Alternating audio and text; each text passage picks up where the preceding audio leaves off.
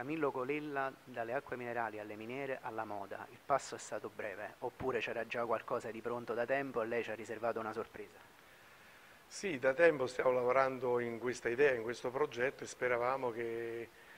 che, che appunto questa azienda ripartisse insomma, negli ultimi due anni, invece è successo il contrario, dico a questo punto dico, ma mi sembra, io giro un po' per tutta l'Italia, investo in tutta Italia con risultati importanti ma anche con tanto sacrificio. Chiaramente ci siamo sentiti un po' in dovere, un po' come Molisani, un po', un po come Molisano, un po' come in un settore dove vedo possibili successi economici, imprenditoriali in questo mondo della moda e anche collegato al progetto del alberghiero che su Roma sto realizzando negli ultimi due o tre anni, che abbiamo realizzato 3-4 strutture ricettive di lusso nel centro di Roma e quindi questo fa, sposa anche bene con la moda, col tessile, eh, con il discorso alberghiero. E quindi puntare eh, appunto in questo territorio dove ci sono delle risorse molto importanti, mm, proprio a livello di risorse umane, eh, che hanno negli anni si sono ben eh, dimostrate eh, in Italia ma anche all'estero con dei risultati importantissimi e con una notorietà che hanno dato alla ITR nel mondo, facendo conoscere anche Molise.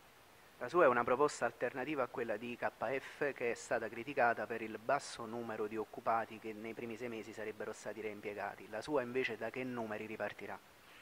La, proposta è, la mia proposta appunto è quella di, di costruire una NUCO che compra un ramo d'azienda, qualora ci venga autorizzata, per 3 milioni e 200 mila euro da pagare in due anni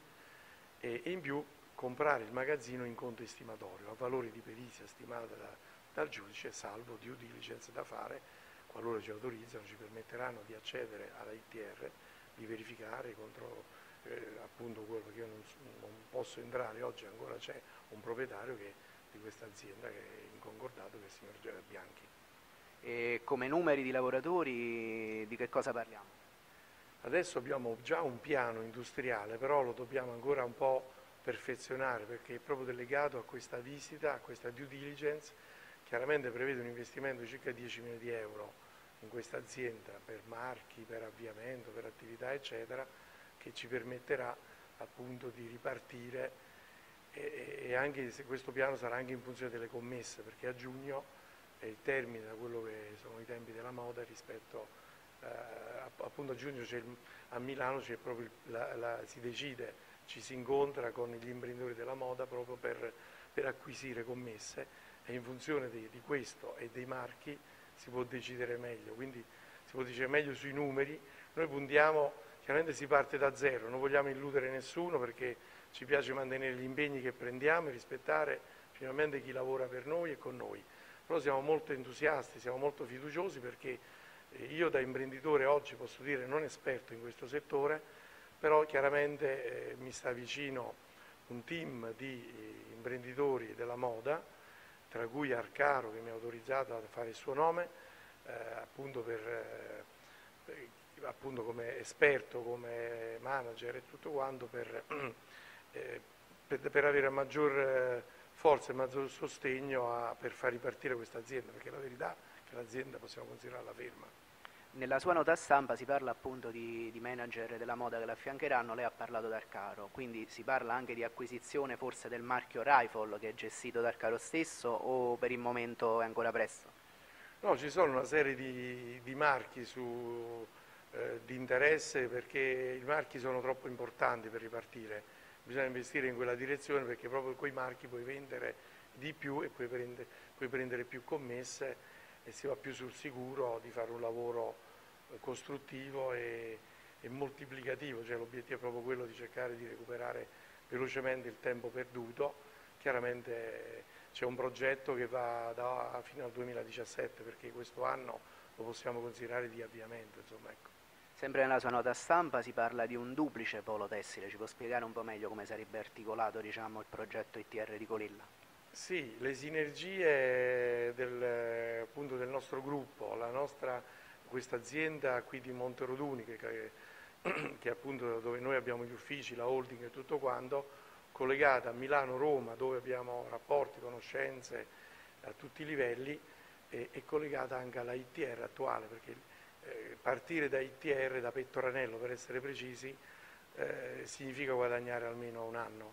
almeno sei mesi per non dire un anno, però partire da là si parte presto, subito, perché già più o meno è tutto pronto, però fare sinergie perché qui abbiamo anche qui spazi, magazzini, cui e anche cercare di attrarre eh, altri imprenditori della moda e fare proprio un polo tessile e anche una, puntare con l'università, coinvolgendo anche l'università del territorio, che farebbero, a mio giudizio, un buon investimento eh, culturale formando in questo settore tessile della moda dove tutti i paesi emergenti e il lusso è l'unico settore in questo momento di crisi che sta trainando con risultati molto positivi. Sappiamo benissimo che il Made in Italy, il food, la moda e il discorso del lusso sta avendo eh, notevoli successi in tutto il mondo grazie a... e quindi questi sono i settori che nel futuro ci permetteranno eh,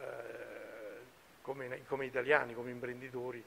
eh, per, per, riprendere l'economia. Insomma. Quindi la produzione in pratica resterebbe a Pettoranello, qui a Monteroduni il deposito e un'altra serie di locali. Sì, si sta ipotizzando qui un magazzino, ormai sono lì e restano lì, ma poi pian piano con gradualità cercare di far funzionare tutte e due le strutture ottimizzando eh, la holding, il personale nostro e anche sinergicamente con tutti i professionisti e i dirigenti che dall'altra parte da anni fanno, sanno cosa fare e fanno bene il proprio lavoro in quel mondo. Insomma è una scommessa in cui lei, eh, lei crede sul serio, ce la può fare ETR a ripartire, a ritornare ai fassi di un tempo? Io credo di sì, perché di sfide ne ho fatte diverse, in, anche in settori diversi, però devo dire che con gradualità negli anni poi alla fine il risultato arriva, è arrivato nel mondo dell'industria dell'acqua minerale, con Santa Croce che un'azienda, è un'azienda nazionale che oggi fa utili, ha ripagato tutti i debiti, quindi ha avuto un grosso risultato, nonostante c'erano anche lì tanti problemi cinque anni fa quando siamo entrati. Per cui con gradualità e con impegno credo che abbiamo le, le capacità, l'esperienza, il patrimonio, la solidità per, fare, per investire in questa direzione. Ci auguriamo che anche, anche le autorità, eh, tutte, al di là dei colori che non ci interessano sul lavoro, che ci stiano vicine per poter far ripartire il Molise appunto da Pettoranello e dare un'immagine anche esterna di capacità imprenditoriale e di successo.